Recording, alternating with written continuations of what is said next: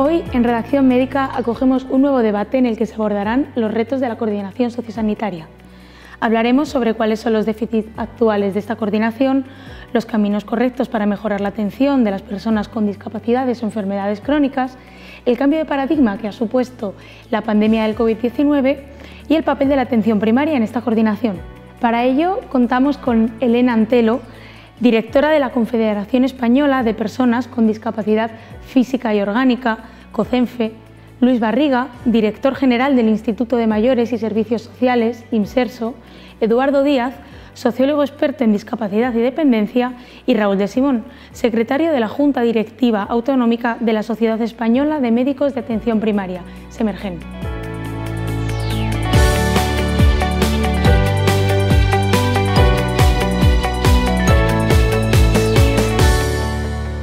Buenos días y bienvenidos a un nuevo debate de redacción médica. En este caso vamos a hablar sobre los retos de la coordinación sociosanitaria. El debate va a estar eh, organizado en tres grandes bloques y si les parece comenzamos con el primero, que va a tratar sobre medidas para fomentar la coordinación sociosanitaria. Y bueno, pues voy a lanzar la primera pregunta que va a ir para usted, Raúl. Y bueno, la pregunta es la siguiente. ¿Es necesario un desarrollo normativo para consolidar la coordinación sociosanitaria?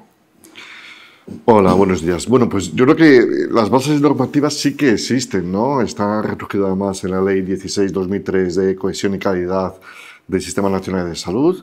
Probablemente hace falta desarrollarlo a nivel de cartera de servicios, eh, tanto estatal como autonómico. Lo que probablemente parece más complejo es cómo integrarlo en, digamos, en la asistencia sanitaria, ¿no? en los sistemas públicos de salud. ¿no? Eh, lo digo porque tenemos 17 comunidades autónomas, 17 servicios de salud diferentes, dos niveles asistenciales probablemente mucho más estancos de lo que parece y además todo en un escenario a veces confuso, con diferentes instituciones solapadas y que a veces hay problemas de coordinación no solamente en, la propia definición, sino en, los conceptos, si los usuarios son eh, de un servicio o de otro, si el problema es puramente social o si es sanitario. Entonces, este escenario de confusión pues, hace que sea mucho más compleja la, coordinación, pero desde luego el desarrollo es necesario, sí. Eh, Luis, eh, ¿usted eh, va por esta misma vertiente? por supuesto que es necesario, vamos, coincido, coincido absolutamente con, Raúl. De hecho, hay en este momento una reforma planteada tanto de la Ley General de Sanidad como, de la Ley de Cohesión y el artículo 14, que es el que determina la, la, necesidad de la coordinación sociosanitaria, que es cierto que, bueno, por el hecho de que exista el artículo en la ley de cohesión no significa que se esté produciendo esta coordinación en los territorios.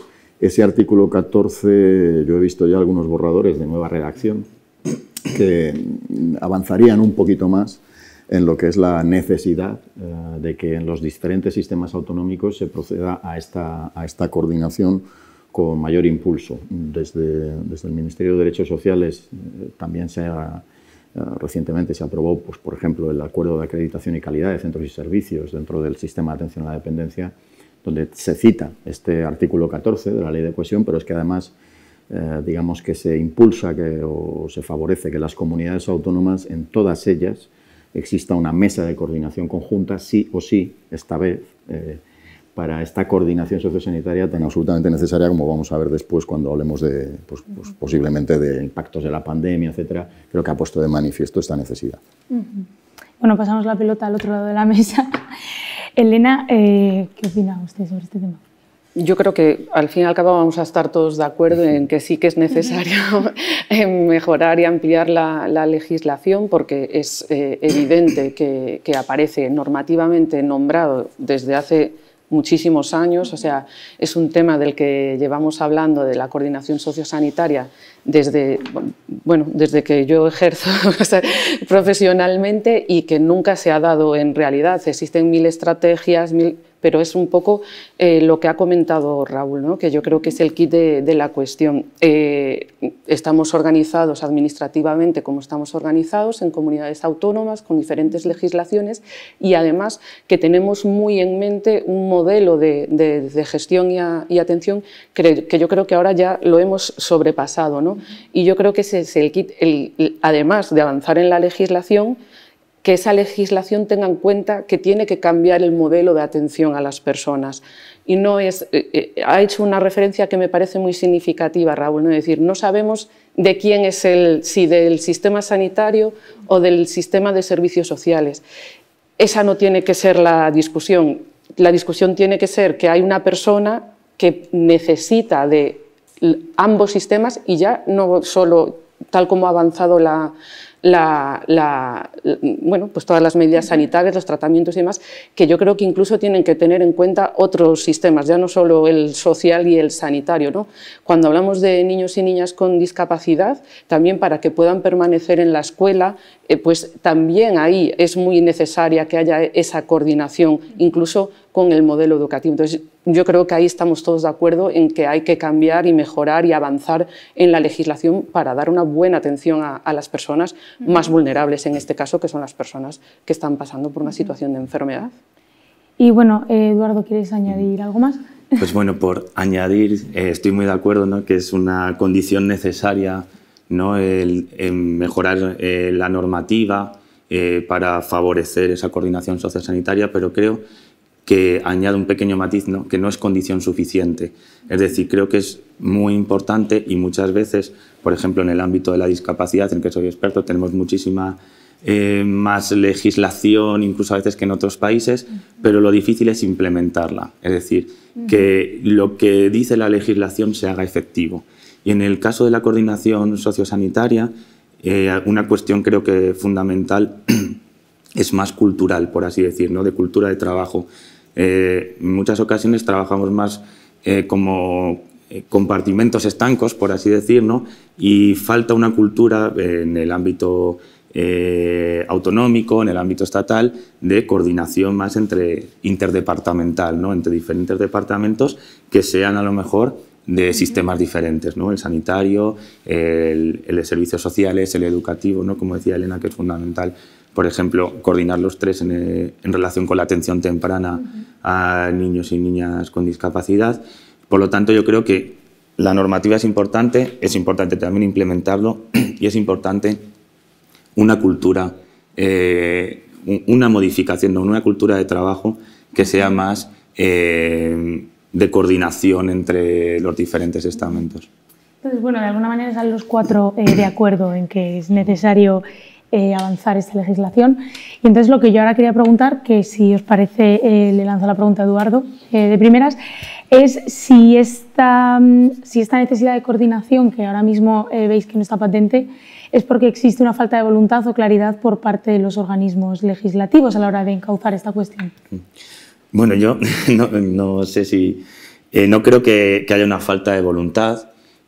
sí que en muchas ocasiones a lo mejor no hay suficiente claridad en la legislación en la legislación en muchas ocasiones eh, y en relación con la discapacidad lo sabemos, en temas relacionados con accesibilidad cognitiva, lectura fácil, eh, no es fácil la comprensión, por así decir, eh, de lo que dice la legislación, ¿no? y a veces la, propia legislación da lugar a diferentes interpretaciones o no está suficientemente cerrada o abierta o, o, no es, es muy abierta ¿no? a la hora de expresar eh, lo que la finalidad ¿no? de la misma. ¿no? Y yo creo, pero creo que eh, voluntad existe, ¿no? Y lo único es cómo encauzarla, que no es una tarea que es bastante compleja. Eh, Elena, ¿considera algo parecido? ¿Tiene alguna discordancia? Sí, hombre, vamos a ver, yo creo que falta de voluntad no se le puede achacar. No creo que nadie, eh, incluso puede tener una creencia, un modelo que, con el que yo no esté de acuerdo, pero no creo que en ese sentido quiera hacer eh, dañar el sistema de salud o el sistema de servicios sociales o cualquier otro sistema Creo que es una cuestión que sí que es muy compleja, o sea, es un tema que llevamos reivindicando muchísimos años, pero no deja de ser complejo, eso lo entendemos, ¿no? Y creo que ante esa complejidad lo que no es falta de, voluntad, pero sí esa motivación de querer cambiarlo, cambiarlo de verdad. Entiendo que es tan difícil eh, que, nos da un poquito de, miedo meternos en ello a todos los niveles, desde la parte de, quien decide, de los políticos y, demás, pero también incluso por parte de todos los profesionales que estamos implicados en ello. Y ahí un poco también, pues, eh, y enlazo con lo que decía antes Eduardo, eh, es cambiar un poquito el chip, la cultura de, trabajo y, y yo creo que e, ese cambio de chip hay que ejercerlo de arriba hacia abajo. Es muy importante que las administraciones, yo insisto en, el cambio de modelo, porque es muy importante que la propia administración no, no se vea a sí misma como un compartimento estanco. Yo creo que la dificultad de todo esto, además de que somos 17 comunidades, pues es también el tema presupuestario. Yo creo que ahí eh, Luis seguro que, sabrá muchísimo más de, todo esto. Y es decir, eh, como todos, en mi ministerio yo tengo estos recursos, en el otro ministerio tengo esto otro. El interconectar, el compartir y todo eso, creo que se hace difícil. Y eso es lo que hay que, también cambiar. Y una vez que se cambie de, arriba, pues yo creo que va a ser muy, mucho más permeable hacia abajo. Pues bueno, vamos por aquí. A ver, en el caso de las, la llamada coordinación sociosanitaria, y digo voy a llamarlo así porque mm, parto de una premisa. Para mí la atención sociosanitaria no puede ser un tercer sistema o una tercera vía. Es decir, existe mm, pues, una política social y, una serie de, y está también la política sanitaria y una serie de derechos de la ciudadanía, etc. La fragmentación que existe en cuanto a las atenciones que estamos prestando es evidentemente la principal barrera y además el, considerar que existieran sistemas diferentes, que lo son, con presupuestos diferentes, con, uh, con distintas formas de funcionar también en el ejercicio de derechos de ciudadanía, es como enchufes que no encajan entre sí y que nos hemos empeñado en encajar desde hace mucho tiempo. Eh, creo que la clave la estaba dando Elena antes cuando hablaba de cambio de modelo, cambio de modelo. Eh, de lo que se trata más es de que las personas, lo que en sanidad llamáis paciente crónico, eh, o en el caso de los servicios sociales podemos hablar de personas en situación de dependencia que precisan de apoyos, no tanto eh, hablamos de patologías en nuestro caso. Es decir, la clave está o puede estar en que en torno a las necesidades concretas de esa persona tenemos que reordenar los sistemas. No se trata de que los sistemas se coordinen entre sí para atender a la gente este camino que quizás, por eso la coordinación sociosanitaria a veces la ha calificado como de unicornio, algo de lo que hablamos mucho pero nadie lo ha visto. Eh, bueno, pues, mm, decir, eh, lo que tenemos que hacer es en la realidad, y alguna experimentación ya al respecto, es decir, sobre el caso de la persona en su contexto, eh, los distintos sistemas tienen que operar. Y eso sí, en ese operar tienen que estar de alguna forma, mm, llámalo, coordinados o conectados. Hay figuras como los gestores de caso, que pueden pertenecer a uno u otro sistema indistintamente según la situación, que nos pueden ayudar en la realidad de la atención a la gente a estas cuestiones. Un gestor de caso que, de alguna manera empoderado por los diferentes sistemas, eh, pueda mm, articular o revisar que la articulación de los apoyos distintos desde los distintos sistemas se ejercen realmente. Por ahí van los tiros, más que por legislación, que coordine, o que, eso es importante que exista, pero efectivamente, como, como decías, no es suficiente y donde hay que hacerlo es en la realidad de la gente. Dicho lo cual, y Raúl de esto sabe mucho más que yo, pues el propio sistema sanitario ha estado tensionadísimo en estos, en estos tiempos, la atención primaria es una apuesta crítica para que esto funcione, mm, porque es en la casa de la gente donde tenemos que actuar y, tenemos desafíos importantísimos por delante, pero siempre la persona en el centro y que los sistemas se adapten a la gente y no la gente adaptándose a los distintos sistemas con distintas puertas de entrada, porque ese no es el camino pues bueno, lanzamos ya para terminar. Sí, pues un poco siguiendo, respondiendo a tu pregunta, yo no hablaría tanto de falta de intencionalidad política en el sentido de, voluntad. Em, yo creo que aquí el problema es un problema casi de complejidad de las estructuras sanitarias y organizativas donde las competencias a veces pueden estar solapadas o a veces no sabemos ahí distinguir eh, de quién es el paciente o si es un problema social o sanitario. Y luego probablemente eh, que haya falta no solamente desarrollar normativas sino de dotar eh, de presupuestos e inversiones que probablemente bueno, puedan solucionar esto. Pero es verdad que cuando hay instituciones eh, que solapan sus competencias entre comillas o de solapar pues es posible que aquí los profesionales ahí es donde quizá, permítame la expresión, pinchamos hueso, no sabemos exactamente desde el punto de vista de microconsulta, de qué hacer con esa situación, no sabemos exactamente cómo derivarlo, a quién corresponde, de quién es el problema, y eso muchas veces sí depende a lo mejor de coordinación, o por lo menos de tener claro quién hace cada cosa. ¿no?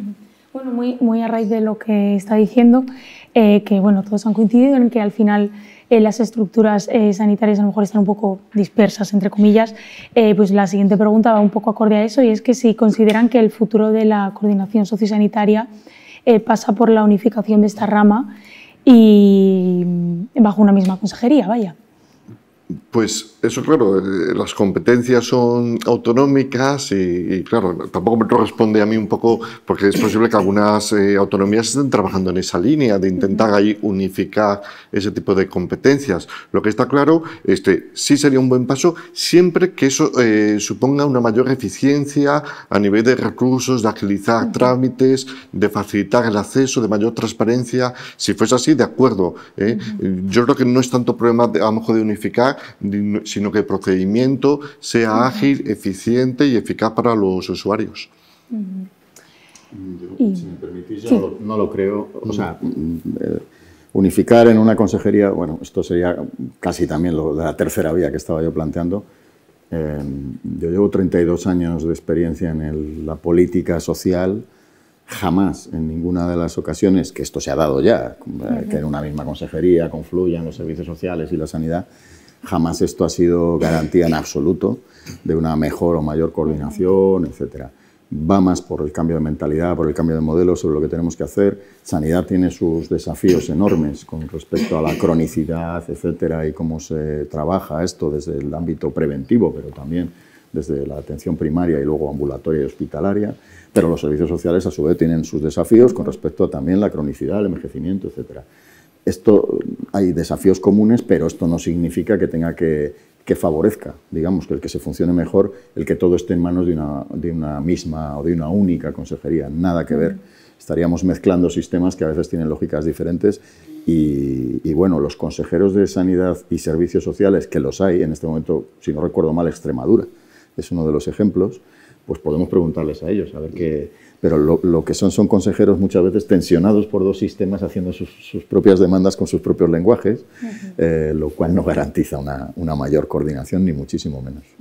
Yo ahí estoy totalmente de acuerdo con, con, Luis porque además se ha dado a lo largo de, de, todos estos años, se ha dado coincidencias incluso dentro de los, a nivel estatal de los ministerios y no se ha avanzado tampoco especialmente en eso. Y, yo volvemos a, a, lo de antes, es que es un cambio de modelo y, la implicación por todas las eh, administraciones de que, ese, de, que permee ese cambio, que vean a la persona como centro de, la atención y no quiere decir con esto, como decía Luis, que haya que, que hacer una tercera, una tercera vía. Si ya entre dos nos lleva, no, somos capaces de coordinar, crear una tercera y somos muy dados en España a, a resolver ese tipo de, este tipo de dificultades de de este modo. Y, yo, insisto, lo veo incluso perjudicial porque se ha dado muchas veces en, eh, el que se han juntado las consejerías y, al fin y al cabo la sanidad siempre arrastra muchísimo más que, que el sistema social y se han dejado de lado muchas cuestiones a, nivel social. ¿no? Y yo creo que uno de los cambios que hay que hacer para que también funcione la coordinación sociosanitaria no es una, cuestión de, voluntad y que, que, lo es también, ¿no? de que estemos ahí, que, que se haga el cambio, sino de que se fortalezcan los, los sistemas. ¿no? Eh, desde la aprobación de la ley de autonomía personal eh, hay una, bueno, una parte muy importante de lo que es la prevención en, el ámbito de lo social que ha decaído por la Mm, atención que se ha tratado de maximizar a las personas dependientes. Entonces, nosotros creemos que es muy importante retomar eh, también las estrategias desde el ámbito social para que, haya un, sistema de, atención y de apoyos para prevenir situaciones de dependencia, porque si no también se tensionan muchísimo los sistemas, eh, porque cuando llegan al sistema sanitario las personas ya llegan con unos altos grados de, dependencia y es muy importante la coordinación previa eh, para ese punto de prevención y que las personas eh, con enfermedades crónicas pues puedan tener una calidad de vida a lo largo de su trayecto de, vital pues, eh, con las mejores condiciones posibles. Entonces, yo creo que es más el, cambiar el modelo y que seamos capaces de, cambiar el modelo que de juntar consejerías. Pues yo estoy muy de acuerdo con lo que decían Luis y Elena. Yo creo que no es la solución eh, coordinar bajo una consejería, igual que a nivel eh, de administración central en un mismo ministerio, porque además yo creo que corre el riesgo siempre cuando, cuando se realiza de que quede subsumido el sistema de servicios sociales frente al sistema sanitario por trayectoria, por importancia, etcétera. Yo creo que lo importante es darle la importancia, eh, darle el valor al sistema de servicios sociales que realmente tiene, darle esa importancia y eh, mejorar, eh, cambiar el modelo con esa idea de, un modelo que se centre en la persona de forma integrada y que los sistemas se coordinen entre sí. Pero creo que cuando tratamos de unir las consejerías siempre eh, se pierden algunos aspectos no importantes relacionados con el sistema y siempre, sobre todo, yo creo que eh, es más perjudicado el sistema de servicios sociales.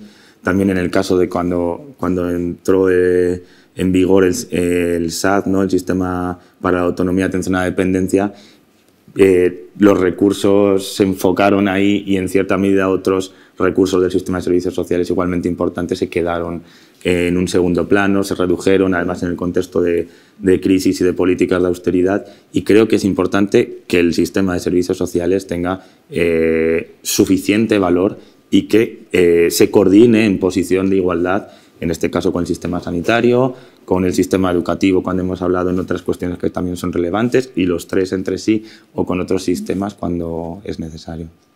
Decía hace un momento, Luis, que una de las cosas que había que hacer era eh, implantar un cambio de mentalidad. Entonces, un poco eh, pues en esta mm, línea le, dirijo usted la pregunta. Quería preguntar si una, puede que una manera de conseguir esto es incluir mayor contenido de materias sociosanitarias en grados como el de medicina o el de enfermería, para que los alumnos desde el principio eh, vean la necesidad que hay de este acercamiento entre ambos ámbitos. Mm, igual que tenemos que ser innovadores en los modelos, también yo aquí acudiría a un viejo refrán de zapatero a tus zapatos. Eh, quiero decir, eh, mm, creo que eh, cuando se trabaja de manera conjunta muchas veces, y lo estamos experimentando en algunos territorios, especialmente en medio rural, entre profesionales de lo social y de lo sanitario, que están trabajando conjuntamente, al final se produce un mestizaje de lenguajes y se comprende la visión del otro. Todo esto es muy importante, lo cual no quiere decir yo desconozco, y ahí soy un desconocedor de cuáles son las materias, digamos, de la enfermería y de la medicina, porque yo, yo provengo del otro ámbito. Que incorporásemos eh, enseñanzas relativas a la medicina o a la enfermería en, en, los servicios sociales, creo que aportaría poco. Cada uno, digamos, tiene que estar eh, profesionalmente en su, en su papel. Es más un problema de sistemas que de profesionales, creo yo porque además se produce el milagro de que cuando los profesionales y las profesionales trabajan conjuntamente eh, sobre situaciones, eh, al final eso, mm, porque en España hay muy buena preparación en ambos, en ambos sistemas, eso al final sale adelante, quiero decir que es muy enriquecedor. Dicho lo cual, no creo que debamos eh, introducir más eh, no sé, componentes que son parte de otra política social, con la pretensión de que eso pueda, pueda derivar en visiones. Otra cosa es que eh, sobre los modelos de atención, la humanización de los cuidados, etc., hay hay cosas que debemos y, podemos compartir entre, entre ambas profesiones. Yo en este caso, a nivel de pregrado, sí que hablaría más de las visiones un poco de curriculares que estamos teniendo de las enfermedades. A veces más hablamos de enfermedades más que de enfermos eh, y probablemente haya que eh, acentuar un poco el foco en la visión bio, biopsicosocial de, de, los enfermos. A veces estamos, seguimos, a pesar del paso de los años, viendo las enfermedades muy, muy, muy estancas y no hablando de personas ni de enfermos. ¿Eh? Entonces, ahí sí que habría que trabajar mucho este modelo, que es un modelo muy trabajado desde la atención primaria, desde la medicina familiar, pero no tanto en otras especialidades donde siguen viendo enfermedades y no tanto enfermos. Y luego es verdad que algunos aspectos curriculares en el pregrado, pues hay situaciones, por ejemplo, eh, como los contenidos en geriatría, donde la geriatría o la atención a mayor, pues no deja de estar bien representada en, el pregrado, eh, cuando hay dos argumentos muy, muy importantes aquí. Primero, y propiamente demográfico. Eh, ya las proyecciones del INE pues, avanzan que para el 2050 un 30% de la población va a ser mayor de 65 años, eh, unos cerca de a lo mejor de, de 7 millones, de 13 millones de personas, pero es que además un 30% de estos van a ser octogenarios. Luego tendremos que aprender desde el punto de vista sanitario, pero también social, a que es la población más demandante probablemente aquí. Y luego un segundo argumento es que la población anciana también tiene una forma diferente de enfermar. ¿No? Son pacientes que a veces las enfermedades las presentan de forma más atípica, que desarrollan más fácilmente discapacidad y que tienen eh, síndromes geriátricos propios. Luego, este contenido probablemente, eh, como dice Luis, no es tanto que nos metamos en, aspectos sociales, sino que la enfermedad es difícil un poco de desligar de la parte social y sea importante dar ese, foco a los contenidos de pregrado.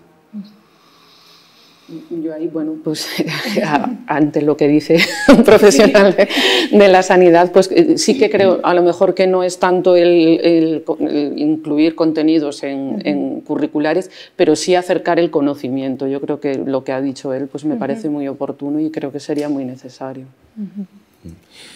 Pues eh, yo opino lo mismo. Me cuesta pensar si deberíamos añadir asignaturas o cómo, qué tendríamos que hacer, ¿no? Creo que quizá a lo mejor ese cambio de enfoque más pensado en las personas y no tanto en la, en la enfermedad puede ayudar, ¿no? En el sentido de, bueno, eh, analizamos o vemos enfermedades, igual que vemos deficiencias, etcétera, y luego vemos las necesidades que tienen las personas cuando tienen una enfermedad de un tipo o de otro, ¿no? que nos sirva a lo mejor para eh, ensanchar la mirada, por así decir, ¿no? la perspectiva que tengamos desde el área sanitaria. Al mismo tiempo, quizá a lo mejor, y sin, sin ser evidentemente experto en, en, medicina ni en enfermería, quizá a lo mejor el conocer el sistema sanitario y su relación con los otros sistemas, no profundizar más en esos temas en cuestión de, de, administración sanitaria creo que puede ser interesante para dar esa visión, pero sí que es cierto que en muchas ocasiones cuando se, como dice Luis, cuando se ponen a trabajar unos profesionales y, otros, eh, se entienden, llegan a acuerdos, eh, abren su mirada y su campo de intervención y, se dan buenas respuestas ¿no? y coordinadas. ¿no? A veces lo, difícil es llegar a ese, a ese punto ¿no? de, de, trabajar de forma coordinada entre los diversos sistemas. ¿no? Bueno, y para terminar este bloque vamos con una pregunta que yo creo que es uno de los puntos fuertes de, este debate.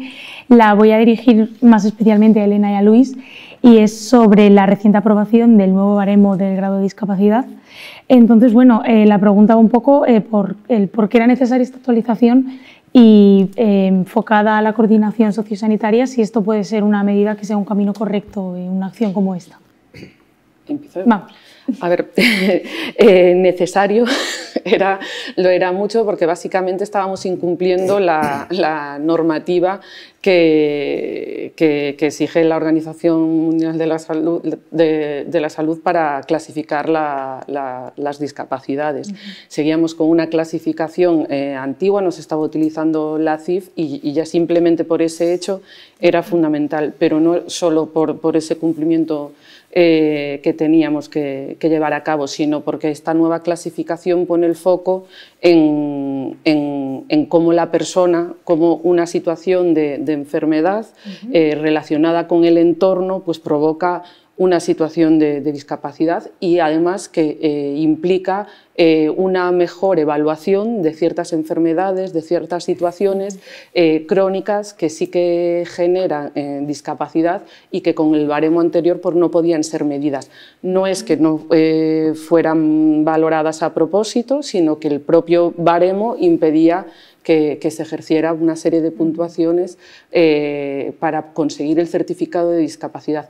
Y ahí sí que veo yo, por ejemplo, que eh, sí que es muy importante el, conocimiento por parte de los evaluadores y ahí pues en, estos equipos de, evaluación que sí que están compuestos por médico, psicólogo, trabajador, trabajador social, eh, por la parte médica muchas veces nosotros nos encontramos y yo creo que ahí sí que esa parte de, que decía Raúl, ¿no? de ver a la, a la persona no la enfermedad, sino cómo esa enfermedad puede eh, eh, bueno, tener una serie de repercusiones en la persona. Porque sí que muchas veces eh, para pasar estos equipos, para pasar estas valoraciones, los informes médicos de ciertas enfermedades crónicas muy específicas y demás no contemplan la información necesaria para que después pase una buena evaluación en, esos, en, esos, equipos de valoración. Y eso sí que nos parece fundamental. Nosotros somos muy, muy partidarios de, que los equipos de, valoración y orientación de las discapacidades pues, se sienten con, las asociaciones de, personas con discapacidad, en este caso, para que conozcan un poquito la repercusión que tiene el acceder eh, al certificado de discapacidad o no para la vida de, una persona con una enfermedad eh, crónica que, genera una, discapacidad. Para nosotros es fundamental y, llevábamos muchísimos años esperando la, la, aprobación, Luis lo sabe, que nos tenía cada dos por tres a las puertas de, su dirección general reclamando que se publicara ya, estamos muy satisfechos y, ahora seguir trabajando eh, porque sí que creemos que como la, medicina avanza, eh, en estos últimos años ha avanzado, pues con, bueno, hay una serie de tratamientos innovadores de innovación terapéutica hay mucha más, eh, mucha más discapacidad eh, orgánica, ¿no? por ejemplo, que es una de las que trabajamos con las personas que trabajamos nosotros en, COCENFE y que requieren de procesos de evaluación más rápidos de los que se están mm, procediendo en, estos momentos. Entonces, hay que seguir, es una buena noticia que se haya aprobado, pero hay que seguir trabajando en ello para que las personas sean valoradas como debe de ser. Por mi parte, poco que añadir. Efectivamente, era una asignatura pendiente, voy a decir, para la adaptación a la CIF de, lo que era bueno, pues todo el espectro de valoración de discapacidades. 11 años creo que se ha tardado prácticamente en, la aprobación de este Real Decreto y yo destacaría de él algunas cuestiones. Una, mm, em, lo que hay es un cambio de paradigma por debajo, y es decir, no, no se llega a una evaluación de discapacidad solo por patologías, que sería el enfoque patologizante de la discapacidad, sino por cómo son los apoyos de entorno que, de los que también dispone la persona. Quiero decir, a una misma patología, si la hubiera, porque cada persona es un mundo, eh, le pueden corresponder diferentes grados de, discapacidad en función de cuántos apoyos o no tiene la persona, ayudas técnicas, etcétera, en el, en el entorno. Es decir, es el entorno el que es discapacitante, voy a decir, y no tanto las patologías. Y este es el cambio de enfoque total. Luego, se, ah, recogen, mm, es un boletín oficial del Estado de casi 500 páginas. Eh, se recogen montones de patologías, vamos, de, situaciones que antes no se recogían, etc. Y yo destacaría también que es algo vivo, es decir, los anexos, que son esas 400 y pico páginas, ahora tenemos el desafío, tenemos varios desafíos con el baremo, no basta aprobarlo y que esté en un BOE, es que ahora hay que hacerlo crecer, y son los equipos de valoración y las comisiones técnicas las que nos van a tener que ir indicando modificaciones en esos baremos. Comisiones de valoración o equipos de valoración que están compuestos, aquí sí, por ese mestizaje que decíamos, de profesionales del ámbito sanitario con profesionales del ámbito social y que hacen una valoración conjunta de situaciones no solo del estado de la persona, sino del entorno eh, del entorno de la persona y en qué medida ese entorno es discapacitante o no. Y esto es lo que variará también los grados. Y luego el Real Decreto también contiene algunas medidas de índole administrativo en lo que es la gestión que esperamos que agilicen, porque hoy en día todavía en España es una barbaridad el tiempo que, que, se puede tardar en valorar una situación de discapacidad, depende del territorio en el que uno viva. Está en la gestión de las comunidades autónomas, con las que hemos tenido también en el diálogo territorial que negociar este Real Decreto pero, tenemos que agilizar los tiempos porque no puede ser que se tarde más de, en algunos casos casi año o más de un año en valorar una situación de discapacidad, cuando muchas veces es, muy urgente hacerlo. De hecho, incorporamos un trámite de urgencia, etc. Y desde ese punto de vista, pues eh, ahora lo que nos toca también es evaluar la eh, homogeneidad de aplicación del instrumento en todo el territorio del Estado, cosa que no va a ser sencilla pero que va a depender mucho del trabajo técnico, de revisión de cómo se está aplicando este, este nuevo baremo para ir introduciendo las medidas y los cambios necesarios.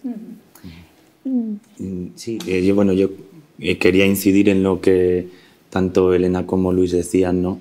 la importancia que tiene después de 11 años prácticamente no esperando, y bueno, no esperando la aprobación, sino también de ponerse de acuerdo eh, diferentes partes ¿no? para poder aprobar este baremo con los diferentes intereses, etcétera, tanto de las entidades del sector como la administración, escuchar a las diferentes perspectivas de los profesionales. ¿no?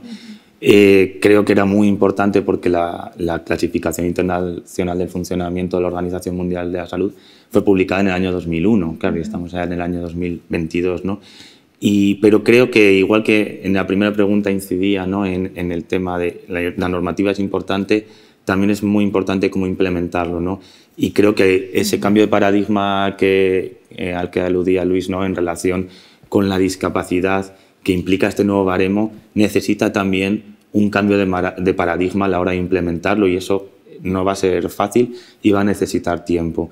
Y, y además puede llevarnos eh, según la interpretación, no puede ser preocupante ¿no? en cierta medida cuando hablamos de la... Eh, el entorno es discapacitante, la discapacidad eh, se produce cuando el entorno no ofrece los apoyos o no ofrece la suficiente accesibilidad para que una persona pueda desarrollar su vida de manera autónoma. ¿no? En cierta medida, es preocupante cómo, o puede ser preocupante cómo interpretamos el tema de los apoyos, etcétera, etcétera, ¿no? Porque evidentemente ante una misma situación o ante una misma discapacidad podemos tener situaciones muy distintas. Una persona si tiene apoyos o no los tiene, si tiene ayudas técnicas, si tiene apoyos personales, pero eh, sobre todo en algunos casos eh, tenemos que pensar que nos sirva este nuevo baremo para proteger a los que no están protegidos, por ejemplo, en tema de enfermedades crónicas, discapacitantes, y muchas personas no, o en otras discapacidades que no alcanzaban el 33% ¿no? para obtener el certificado de discapacidad en el baremo anterior, pero que no eh, vaya en perjuicio de personas que tienen un determinado grado de, eh, de discapacidad en la actualidad y que por el nuevo eh, por la nueva visión ¿no? que se vea perjudicada, que esperemos que no, porque esto también es un poco una interpretación, pero que se vea perjudicada por, ese nuevo, por esa aplicación del nuevo baremo. Si les parece, vamos a pasar al siguiente bloque, que este va a ser un poquito más corto. Eh, vamos a hablar sobre un poco de cómo mm, toda la situación de pandemia y, el COVID que hemos vivido eh, ha influido en la gestión sociosanitaria y bueno, lo primero que quería preguntar, que le lanzo para allá la pregunta, es qué es lo que se ha aprendido del COVID-19 y qué puede aplicarse en otros eh, contextos pospandémicos. Bueno, yo desde el punto de vista sanitario, que es un poco mi perfil, yo creo que hemos incluso desde el punto de vista social o toda sociedad, eh, se ha puesto un poco en, en dónde establecer un poco también las prioridades, ¿no? Dentro de todo este estado de, de bienestar, un poco a veces con cierta sensación de, utopía, pero es verdad que la sanidad, eh, que se ha visto tan tensionada, pues se le ha dado el valor que no sé si no tenía, o por lo menos no se llegaba un poco a, reconocer. Y dentro de la atención sanitaria, pues que hay vulnerabilidad, que hay personas muy, muy vulnerables que han padecido la pandemia pues con, con más afectación, con más miedo. ¿eh? Yo creo que, por ejemplo, en el caso de los ancianos, de las personas eh, mayores, yo creo que han vivido y siguen viviendo la pandemia con con un temor eh, que, que, es difícil un poco de, a veces hasta de explicar, ¿no? Eh, de hecho, lo estamos viendo, quiénes son los, eh, las personas que siguen yendo con mascarilla por la calle, pues siguen siendo personas mayores que siguen viviendo esto con mucho pánico. estos pacientes que han estado confinados tanto tiempo, ha, ha, habido cierta invisibilidad para, para, el seguimiento de estos pacientes que están en casa.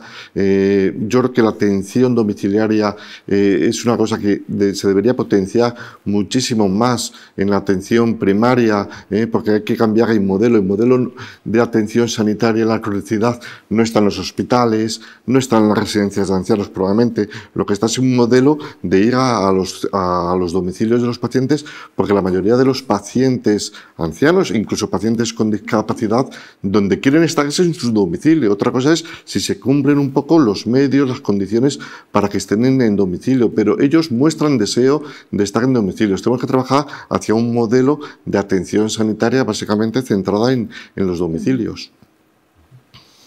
No puedo estar más de acuerdo. Eh, de hecho, dentro de lo que es la estrategia europea de cuidados, que tiene una parte relativa a los cuidados de larga duración, llamados así en, el ámbito europeo, eh, el planteamiento es precisamente desinstitucionalizador, es decir, atención en, el entorno de las personas, de ambos eh, sistemas en este caso.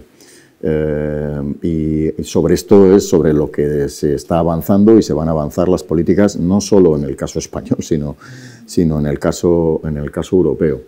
En cuanto a lecciones de pandemia, quiero decir, y yo creo que aquí um, quizás en pandemia una, una, de las que yo creo que hemos aprendido desgraciadamente fue la, falsa percepción de que las personas que estaban institucionalizadas contaban allí con toda la protección y que, y que en un momento determinado, en la primera oleada especialmente de pandemia, se trataba de, defender, digamos, el, pulso del sistema sanitario para que pudiese acometer y, quizás se dejó un poco de lado las situaciones de institucionalización donde, digo, podía existir una falsa percepción de que ahí la atención sanitaria ya se estaba prestando.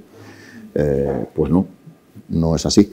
el funcionamiento de instituciones, tanto residencias de personas mayores como de personas con discapacidad, etcétera, no son centros sanitarios el haberlos denominado sociosanitarios en algunas ocasiones yo creo que nos ha confundido, porque ahí no existían los dispositivos suficientes para poder atender determinadas situaciones, digo, especialmente en primera ola y cuando se daba el, caso de una, pues bueno, con tasas de ataque muy importantes con COVID, cuando entraba en un centro, etcétera. Luego se reaccionó y se reaccionó muy bien y yo creo que hay también hay buenas lecciones y bueno, esto está escrito ya y está colgado, digamos, en las webs eh, oficiales sobre cómo las consejerías de ambos ámbitos se pusieron de acuerdo en muchos casos para proteger esas situaciones de hogares colectivos.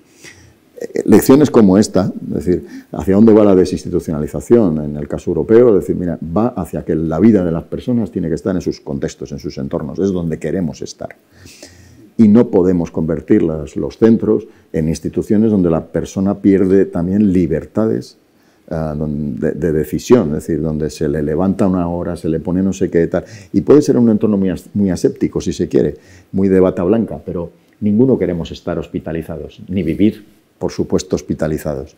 Ah, cuando toca, cuando uno es agudo y, toca, pues, pues, eh, pues pasamos, digamos, ese, ese proceso. Pero lo de vivir en casa es, es lo que todo el mundo quiere. Y yo creo que la pandemia... Mm, tenemos ahora muchísima información más que antes. Estamos incorporando nuevos datos, recogida de datos importantes. Ahora hemos pasado una, una etapa, y en la atención primaria se habrá visto, de un exceso de mortalidad muy importante en personas mayores. Ola de calor, sí. Eh, ¿Todavía secuelas de impacto de pandemia? Bueno, pero tenemos hay una mortalidad no explicada que ha podido tener que ver con la falta de prevención, con la falta de detección precoz de determinadas situaciones. Todas las pandemias han tenido este efecto, ¿eh? no solo el, de, aluvión del momento, sino los posteriores, eh, las posteriores secuelas. Esto, esto en medicina, vamos, en salud pública me imagino que se estudiará mucho eh, como fenómeno. Nos ha dado muchas pistas sobre hacia dónde el modelo encaja con que se pueda realmente atender a las personas en sus entornos, en todas sus necesidades, en todos los apoyos que precisen. Y aquí la medicina, por la parte sanitaria, eh, domiciliaria, incluso la hospitalización a domicilio, etcétera, son mecanismos que se están experimentando y que ahora lo que nos falta es ya dar saltos para que se puedan implementar en los sistemas de manera, digamos, más global. Si les parece, les voy a lanzar por aquí la siguiente pregunta de, esta, de este bloque.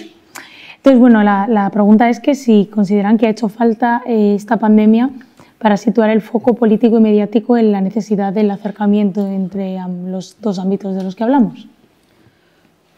Hombre, a mí me parece muy duro tener que decir que, que nos tuvo que venir una pandemia para abrirnos los ojos en este sentido que muchas veces eh, a mí me parece una pregunta horrible que se hacía mucho justo saliendo de la pandemia, era en plan, ¿qué, qué sacas positivo? Dios mío, yo de esto no saco positivo absolutamente nada, o sea, ha sido una época de, muerte, de miedo, de, de, muchísimo pánico y, pero sí que es cierto que ha evidenciado, no lo podemos obviar. ¿no? Eh, yo creo que eh, en la pregunta de antes, lo que ha comentado Raúl y que ha complementado Luis, es, fundamental. Se ha puesto eh, más que nunca el movimiento asociativo, ya veníamos demandando estas situaciones, se las veníamos demandando tanto a la parte social como a la parte sanitaria y yo creo que ahora es un tema que está en el lenguaje de los propios profesionales del sistema y yo creo que eso sí que es una consecuencia de haber vivido esta, esta situación tan, tan dramática. Y si, si me permites, es que me gustaría también añadir, porque ha hecho alusión eh, Luis eh, eh, en relación a, los centros residenciales y, al mal trago que se pasó en los, los, primeros periodos de la pandemia y que estamos todos de acuerdo. Yo creo que ambos, Raúl y, Luis, hicieron mucho hincapié en la atención en el entorno, la atención domiciliaria, pero yo no, no quiero dejar de, de, de, decir que no se puede confundir incluso en aquellas personas que, por el motivo que sea mm, vivan en centros, los centros son los hogares de las personas, son los hogares de las personas mayores o los, hogares de las personas con discapacidad eh, en, este caso, con lo cual no son centros eh, sanitarios. Y con lo cual eh, para esas personas que estén en, esa tipología de, centros porque hayan decidido vivir ahí, que hay que cambiar el modelo radicalmente, por supuestísimo, pero que no se puede eh, pensar que eso es un hospital, ni que tiene que tener unos servicios sanitarios especializados, no, tiene que tener una atención a, la persona pero, y tiene que haber coordinación, pero no son centros hospitalarios para, para, las personas, son sus viviendas, sus casas. Y ese es el concepto que tenemos que ir hacia la desinstitucionalización. Hogares compartidos, lo que queramos, pero son hogares para vivir, son las, las, las casas de las personas. Pues yo creo que la pandemia eh, no ha puesto tanto el foco en sí en el en el ámbito sociosanitario o, lo que podríamos hablar de la coordinación sociosanitaria, como en el conjunto del estado de bienestar y las políticas de bienestar. La importancia que tiene para toda sociedad, para todo país, un estado de bienestar fuerte, suficientemente financiado, con suficientes recursos, que dé cobertura a las necesidades de todos los ciudadanos y ciudadanas. en ese sentido, creo que eh, hablábamos o se hablaba antes de la pandemia de que la sanidad española era la mejor del mundo, ¿no? Y en muchas ocasiones eh, se llegaba a afirmar esto, ¿no? Y yo creo que eh, la pandemia ha mostrado eh, las carencias y debilidades de este sistema sanitario después de muchos años, desde la crisis económica de 2008, de recortes, de falta de recursos, de reducción de profesionales, etcétera, etcétera. ¿no? no hay que negar el trabajo encomiable que han hecho los profesionales tanto del ámbito sanitario, eh, de atención primaria, atención hospitalaria y también del ámbito eh, de los servicios sociales, particularmente en los espacios, en los centros ¿no? como residenciales. ¿no? Pero creo que es muy importante tener en cuenta que es fundamental eh, que haya suficientes recursos para eh, tanto el sistema sanitario como el sistema de servicios sociales. Ahora tenemos un problema por falta de recursos, sobre todo, por ejemplo, en la atención primaria, en, el ámbito de la salud. Y creo también una cuestión muy importante que mencionaban mis compañeros de mesa en relación con las residencias. Eh, bajo este mal enfoque que teníamos de lo sociosanitario, pensábamos que una residencia, como era un recurso sociosanitario, tenía la cobertura, por así decir, médica cubierta. Y los eh, las personas mayores o personas con discapacidad o en situación de dependencia que se encuentran en un centro eh, residencial son personas o son ciudadanos que también tienen derecho a la atención sanitaria, tanto en la atención primaria como en la atención especializada. Y por lo tanto es fundamental que se garantice mediante esa coordinación entre los sistemas o como cualquier otro ciudadano que pueda ir a su médico de cabecera, su médico de atención primaria, que pueda ir a, los centros de especialidad y que no pensemos que porque haya un médico en los centros residenciales o haya enfermeras, etcétera, tienen todas sus necesidades sanitarias cubiertas. ¿no? Y eso creo que es fundamental tenerlo en cuenta.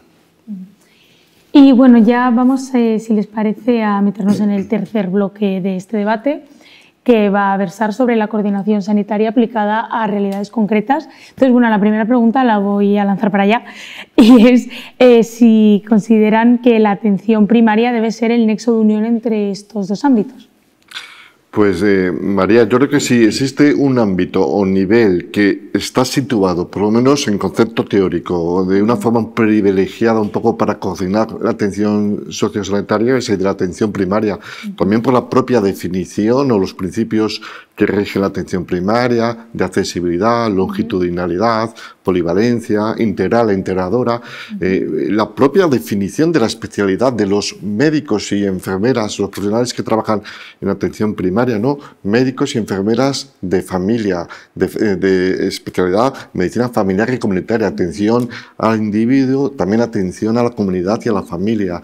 Yo creo un poco se dan las condiciones, también las propias funciones de la, de la atención primaria, de prevención de la enfermedad, promoción de la salud, recuperación funcional eh, de la enfermedad no orgánica y psíquica. Yo creo que las condiciones también la red de salud pública permitiría un poco que pueda abarcar todo el territorio nacional. Hay eh, cerca de 13.000 centros de salud, contando los consultorios locales, 30.000 médicos de familia ejerciendo eh, la atención primaria y yo creo que si hay un lugar, un espacio vertebrador de toda esta coordinación, debe ser de atención primaria. Otra cosa es si hay recursos suficientes, si las cargas de trabajo permiten esto, si las inversiones presupuestarias permitirían esto, si la formación, pero eso, bueno, sería tema de otro debate probablemente. Desde el otro ámbito quería preguntar a ver si eh, Luis tiene algo que añadir sobre este tema.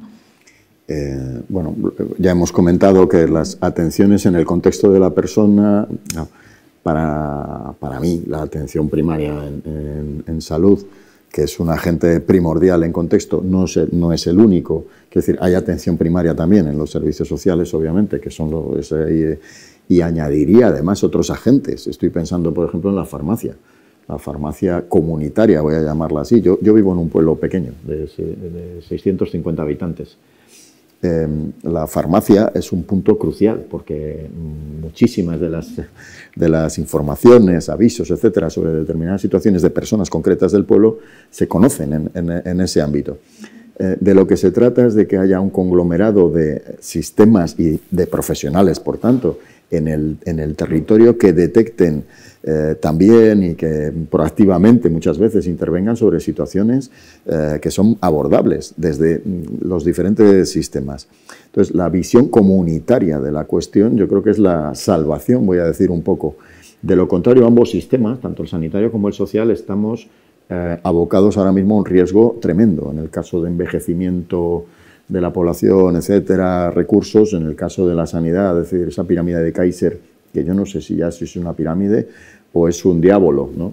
Eh, donde la cronicidad arriba está creciendo, creciendo, creciendo, eh, y no se puede atender ya solo con un sistema de atención primaria muy, eh, muy, muy infradotado, voy a decir, en sus capacidades, y muchas veces cargando al, nivel hospitalario um, las, las deficiencias que en realidad provienen de no haber trabajado las situaciones en contexto. Eh, caray, los desafíos para ambos sistemas son en ese sentido muy importantes y yo creo que las soluciones pasan por lo comunitario, lo comunitario y lo comunitario. Y mm, volviendo a Raúl, quería preguntar específicamente em, qué papel puede desempeñar eh, este nivel asistencial del que hablamos como puerta de acceso al sistema y también cuál debe ser el rol, en este caso, del médico de familia. Bueno, pues eh, me parece una pieza fundamental en todo este engranaje, ¿no? Porque al final eh, la relación de confianza de profesional sanitario, en este caso de médico de familia, con el paciente es una relación de continuidad a lo largo un poco de, todas las etapas vitales que ha tenido el paciente, ¿no? Eh, yo creo que es verdad que los médicos de familia tienen el marco teórico, pero a veces es posible que nos falte preparación o formación en aspectos más sociales de la enfermedad aquí destacar también la figura del trabajador social que trabaja en los centros de salud y que tiene, eh, y que tiene bueno, pues, eh, contacto mano a mano con otros trabajadores sociales, eh, que a veces es difícil de, distinguir quién corresponde a quién, porque a veces hay trabajadores sociales también en otras instituciones, tanto autonómicas como locales, pero es verdad que a veces el papel de médico de familia yo creo que es crucial, sobre todo un poco en descubrir, en indagar, no solamente trabaja a petición o reactiva a las demandas de los propios usuarios, sino también en ser proactivo en identificar situaciones de riesgos sociales. ¿no? Y bueno, ya para terminar, va a ser una pregunta para toda la mesa, aunque esté más centrada en el ámbito sanitario y la atención sanitaria. Y va sobre si consideran que hay que repensar el modo en el que se vincula esta asistencia sanitaria a los servicios eh, sociosanitarios, específicamente en los pacientes que tienen una situación de mayor dependencia. Si les parece, pues vamos así. Sí, e, efectivamente es un tema de modelo. Yo creo que es un, algo que ya ha salido en, la mesa, de cambiar el modelo, que muchas veces la atención eh, eh, pueda ser compartida, pero a veces es difícil saber quién corresponde a qué. Sí, entonces muchas veces el problema, además yo creo que Elena lo decía muy bien, hay que dar una solución al paciente. O sea, eh, no es tanto a quién corresponde, sino que hay que solucionarlo. Entonces muchas veces depende un poco de identificar esas necesidades que tienen los pacientes, pero también saber asumir el papel de cada profesional, en, más o menos compartido, pero es verdad que es integrarlo con más menos eh, problemas sociales que pueda haber, pero desde el punto de vista profesional y sanitario debe ser un modelo eh, cambiante, adaptado a las necesidades de los usuarios, la población también va cambiando y desde luego los profesionales sanitarios me da la sensación que sí que están preparados, pero con condiciones de trabajo probablemente que, eh, que hayan que cambiar. ¿no? Luis. Sí, hemos, yo creo que, a lo largo del, debate hemos, hemos, puesto esto de manifiesto, las situaciones de fragilidad, voy a decir, o de mayor fragilidad que, que tienen muchas personas, pues bueno, muchas veces por, por condicionantes de, de, la edad, etcétera, pues, eh, pues tienen que estar en el punto de mira de la, de la reorganización de los servicios. Aquí yo sí creo también que la, la incorporación de, de, mayor disciplina por demanda, ¿eh? De, geriatría, etcétera, dentro de, lo que es la atención primaria, estoy hablando, ¿eh? sin salirme de ese ámbito, pero creo que la, ahí, mm, en el caso de las discapacidades también es importante, pero en el caso del, envejecimiento y la, el, incremento de las fragilidades en las personas, al tiempo que también una mejor, eh, eh, una mayor longevidad, afortunadamente, también gracias a, a, las mejoras ¿no? en, los cuidados y, en el sistema sanitario ¿no? y, en los, en, los, estilos y hábitos de vida. Todo eso es fundamental. Eh, no tanto por atender cuando ya suceden las fragilidades, sino también por algo que está en, la, en el ADN de las dos atenciones primarias, tanto la social como la sanitaria, que son también los ámbitos preventivos, ah, que es un papel crucial, porque no es tanto qué fragilidad tengo, sino cómo he llegado a esa fragilidad por estilos de vida. Y eso sigue siendo una materia clave en lo primario, vamos, en la, en la, atención primaria. Eh, y empezamos a envejecer desde que nacemos. No es una cuestión de 65 o de 80 en adelante, no. Eh, mi estilo de vida va a determinar después mi calidad de vida y que mi vida sea, sea una vida que merezca la pena ser vivida hasta sus últimos eh, momentos con una mayor, con una mayor calidad. Y, esto está en el ámbito, de, insisto, de lo, de lo, comunitario. Ahí es donde tenemos también que, tomar el pulso todos los sistemas. Yo por dar una, una vuelta y, voy a cambiar incluso la, pregunta, eh, por supuesto estoy de acuerdo, yo creo, eh, tanto Raúl como Luis han incidido, yo creo que es el camino que hay que seguir. Por supuesto que lo venimos diciendo todo el tiempo, el modelo, pero no solo para la situación, yo insisto en esto, para la situación de las personas eh, eh, en dependencia, personas que están en situación de dependencia, que efectivamente eso es innegable, ¿no? ya lo han contestado ellos, sino que yo creo que tiene que ir eh, antes esta, esta, esta, prevención. Hay que pensar en el modelo de, que atienda a las personas para mejorar su calidad de vida. Insisto, hay un montón de personas con discapacidad y con enfermedades crónicas que necesitan de, ese, de esa atención específica y que necesitan una serie de atenciones y que estén coordinados los sistemas para no llegar eh, de, un, de, un, salto al otro a una situación de dependencia, sino que necesitan alargar su vida con calidad de vida, que yo creo que también tiene que entrar eh, en, esta ecuación. Entonces, por supuesto, sí que para las personas en situación de dependencia, pero hay que poner mucho ojo en que las personas tardemos lo máximo posible en llegar a esa situación de dependencia y para eso es fundamental que haya coordinación entre ambos sistemas. Sí, yo, eh, bueno, redundando un poco en lo que se ha comentado, que es muy importante ¿no? Eh, que esa asistencia sanitaria ¿no? Eh, a los usuarios que en mayor situación de dependencia en los servicios sociosanitarios sea más efectiva, más continuada, con un mayor seguimiento. Creo que también es muy importante, como incidía Elena, en que tenemos sobre todo que tratar de evitar que lleguemos a esas situaciones de mayor dependencia y por eso es muy importante el seguimiento eh, de, los, de, los, pacientes en en el nivel sanitario, en el ámbito sanitario, también de los usuarios ¿no? en el ámbito de los servicios sociales. Creo, pero creo que también es un, muy importante otro lado ¿no? de la atención que podemos denominar sociosanitaria, ¿no? cuando una persona eh, adquiere una discapacidad, una situación de dependencia por una situación sobrevenida, que puede ser repentina, por ejemplo. ¿no? Y a mí me preocupa mucho eh, la respuesta que se da cuando una persona que ha estado en el ámbito sanitario, pues, puede ser por ejemplo por un ictus, un daño cerebral, una lesión medular, múltiples circunstancias ¿no? y muy diferentes, y que eh, pasa de la atención sanitaria en una fase aguda de una enfermedad, de una lesión, de una, de una deficiencia, etcétera, a esa fase subaguda en la que ya no requiere a lo mejor una atención sanitaria, pero requiere de una atención eh, sociosanitaria, de cuidados, de apoyos, etcétera, y que muchas veces los sistemas no dan respuesta suficiente o hay una respuesta que no eh, es suficiente para todas las necesidades o para todas las personas que se van a encontrar en esta situación, ¿no?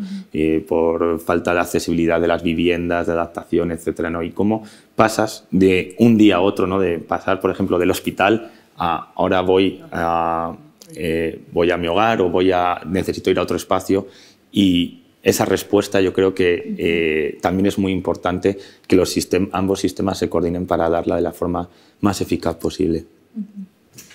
Eh, bueno, pues si les parece, para concluir el debate, lo que les voy a pedir es que cada uno eh, diga una frase a modo de conclusión. Sé que es complejo unirlo todo solo en una frase. Y ya pues terminaríamos. Así que si pues, quiere empezar por ahí. Yo creo que la coordinación de la atención sociosanitaria es necesaria, pero para que sea eficiente hay que definir los papeles también, quién hace cada cosa, hay que desburocratizar determinados circuitos, hay que agilizar procedimientos. Los pacientes con discapacidad no pueden tener dos barreras porque a veces tienen dos barreras, la propia de su discapacidad, pero también la que les pone la administración a veces en determinados circuitos y simplemente eso. Más que, más que concluir o lanzar una conclusión, se me ocurre un agente que no ha sido mencionado en todo este debate y que es fundamental, o lo está siendo desde luego. Que, y me estoy refiriendo al papel de los cuidados, voy a decir, bueno, no me gusta llamarlos así, pero es como los cuidados informales todas aquellas personas, generalmente familiares, etcétera, que están soportando, apoyando, dando soporte, quiero decir, a personas que lo requieren, etcétera, y que en realidad, en el caso español, además, tenemos en ese sentido un déficit de apoyo a las personas cuidadoras, que son absolutamente cruciales. Sin ellas tampoco habríamos sobrevivido a nada de esto, no ya a la pandemia, sino a las situaciones que vivimos cotidianamente en la, en la normalidad. Eh, otro de los aspectos que tiene que, prestar, otro de los, dos sistemas, el sanitario, tienen que prestar también mucha atención a aquellos que cuidan, porque aquellos que cuidan y de su salud depende muchas veces la continuidad en los, en los apoyos y en los cuidados que reciben las personas, tanto en situación de discapacidad como de dependencia, etc. Y, más que concluir, insisto, el debate, se me ocurre un, un reconocimiento por un lado, pero también un, reconocimiento del desafío de apoyar a todos esos que cuidan y que apoyan. Pues mm, yo eh, señalaría tres cosas principalmente. Eh, una, es necesario el cambio de modelo en el que la persona esté en el centro. Es necesario que se haga de una forma ya eh, real la coordinación sociosanitaria, mejorando todos los ámbitos que estuvimos comentando durante todo este debate, pero también es necesario que se refuerce eh, la cartera de servicios que tienen ambos sistemas, incluso, bueno, ambos y, incluyamos también educación y bueno, los sistemas que sean de, atención a las personas, que se refuercen, que se mejoren esas carteras de servicios y que esos servicios sean compatibles entre sí para poder llegar a una buena atención de las personas eh, con discapacidad o en situación de dependencia. Bueno, ya es difícil añadir algo más, pero bueno, eh, yo creo que es importante incidir eso, una, una, atención centrada en la persona, integrada, en la que los diferentes eh, sistemas eh, se coordinen para poder desarrollar esa correcta atención y que tenga en cuenta, como dice Luis, los diferentes soportes sociales, ¿no? los otros soportes, ¿no? ya no solamente es la atención sanitaria, la atención de servicios sociales, la atención educativa, cuando, sino que también tenga en cuenta a la comunidad, eh, las entidades, las asociaciones del ámbito de la discapacidad, las familias, etcétera, ¿no?